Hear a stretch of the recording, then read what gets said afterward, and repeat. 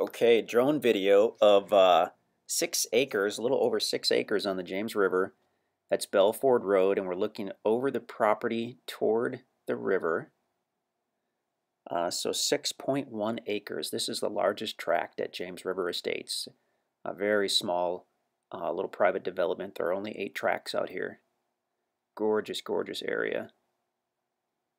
So as we back up here, if you look to the right, you can see uh, the bridge over the James River. So if you're coming from Marshfield, you would cross that bridge, go up the little hill, uh, go a few hundred yards, and you'll see the property on the right. This is uh, tract 7. It does have a gate. It's fenced and gated, has its own approach. When we were out there, the gate was functional. It, it's a nice newer gate, but it needs to be adjusted uh, before it falls off. And we've got, looks like T-posts along the boundaries, but I, I don't believe that there was any wire strung. So when we did this project originally, several people uh, uh, either leased or uh, bought multiple tracts and requested that we don't fence.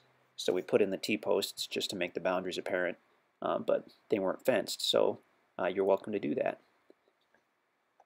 Okay, now as we fly toward the river, I'm trying to look at my map here. It's uh, it looks like it's about 100 feet wide um, where we are now, so easily wide enough to, to build whatever you like and still have a nice yard area.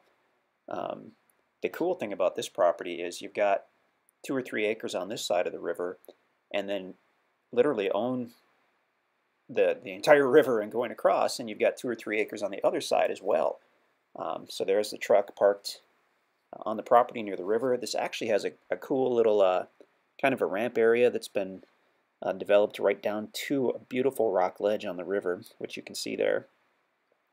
Um, and then as we look at that gravel bar and the timber and the meadow across, that's part of the property as well.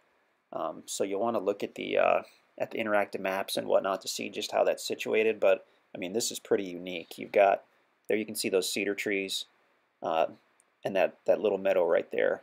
That's also part of the property.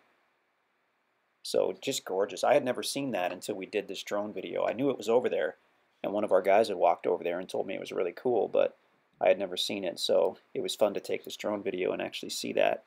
Now that, whoop, well, we'll get back there. Holy cow. Make myself dizzy here. Sorry about that.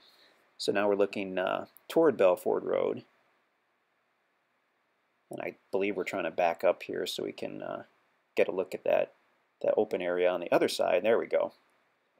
Uh, so there you can see the cedar trees.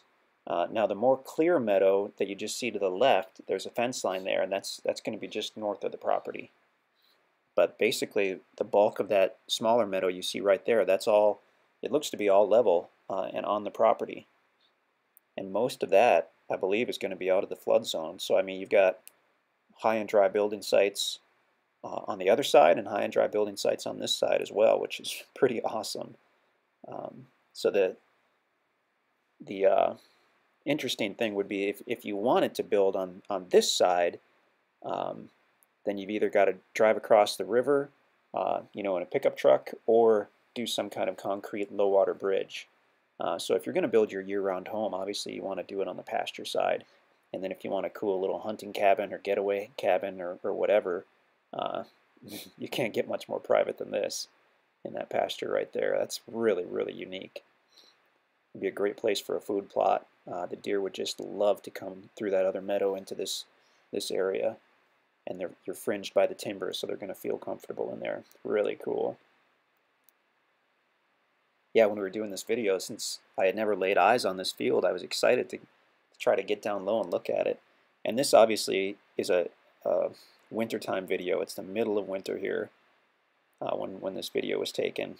So in the spring and the summer when the leaves are out, this is going to look um, quite a bit better. Uh, but shockingly, in the dead of winter, it looks pretty darn good too. So that's that's a good thing. Yep, super private meadow on the James River. Wow. We're close to Springfield. We're very close to Marshfield. That particular bend in the river right there is a, a very good spot for fishing, or it has been we've actually spent quite a bit of time out here since it's so close to the uh, to the office. It's a fun place to come out and, and hang out uh, in the afternoon, bring the kids.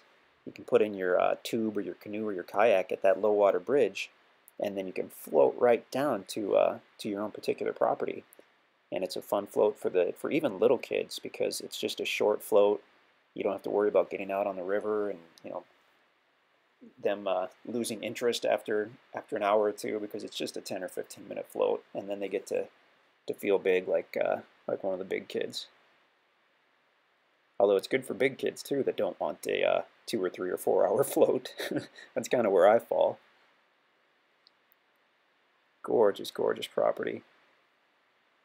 Largest tract out here at James River Estates. Huge gravel bar. I mean, geez if and when you do build or do some landscaping, I mean, you have virtually an unlimited supply of gravel uh, right at your disposal. So that's pretty cool. Definitely check out the listing. If this is available, then you'll see it at instantacres.com.